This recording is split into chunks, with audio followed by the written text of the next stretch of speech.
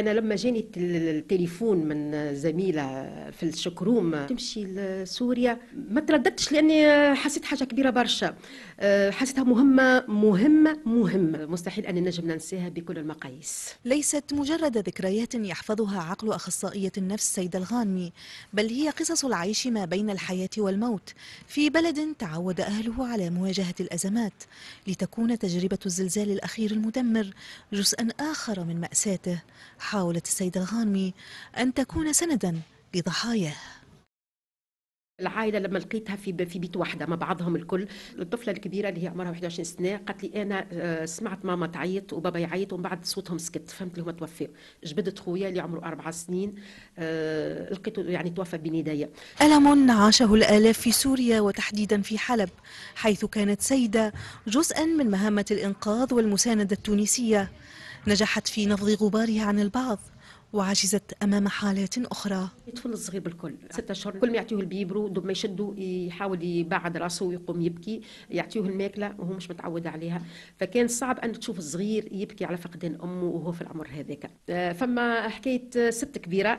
آه، المرأة هذه كانت فلاحة ويديها زوزة تكسروا آه، فكانت تغزر صوابعها وتحرك صوابعها وتقول زعما يا ترجع إيديا للتراب تحفر التراب وتزرع الأكل باش نوفر الأكل للعائلة.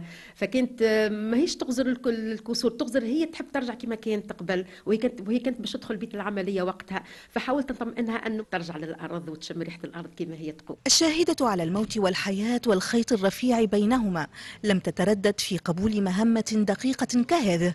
ربما لشعور بالمسؤولية كأخصائية نفس أو لشعور إنساني تنتفي بوجوده الحدود لتعيش قصصا استعادت معها لحظات فارقة في حياتها بداياتها كممرضة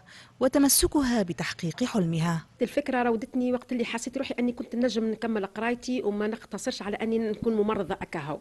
رغم أني أنا المهنة التمريض نحبها برشا وتعجبني لليوم. كانت الفكرة ديما أني نحب نعدي الباك. عديتها بعد أول مرة قبل ما نتزوج بعد عديتها بعد ما تزوجت وعندي أولادي الزوز مازالوا صغار. أه ما سهلش ربي فكرة قاعدة باقي ساكنة في ذهني.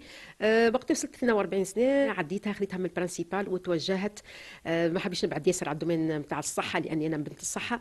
فاخترت أني نعمل علم النفس. والحمد لله وكملت خدمت بالليل آه، حاولت نوفق بين عائلتي وبين الدراسة. أنا عندي les deux masters عندي master professionnel master de recherche عندي زاد ماستر أخرى من ال fac de médecine psycho-oncologue توا نشوف لي الظروف قاعدة متاحة أني باش إن شاء الله نقدم على الدكتوراه بإذن الله. الحلم عند هذه المرأة لا يتوقف في حدود الدراسة والعمل فهي الفنانة المسرحية والناشطة الجمعياتية. لقيت المسرح اللي هو نوع من العلاج يعني حتى لي أنا في حد ذاتها.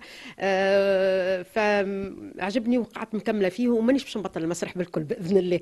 وفي الحياة الجمعياتية donc كنت نتعامل مع جمعيات كنت نخدم في مستشفى الأطفال فما unité d'oncologie اللي هي الأطفال ربي يشافيهم آه، مرضى بالسرطان. فكنت نتعامل مع الجمعيات معناها في في الأعياد في المناسبات في الرحم سيده الغانمي تجربة امرأة فريدة لا تختزل هي التي لا توقفها حدود أمام مواصلة عطائها الإنساني.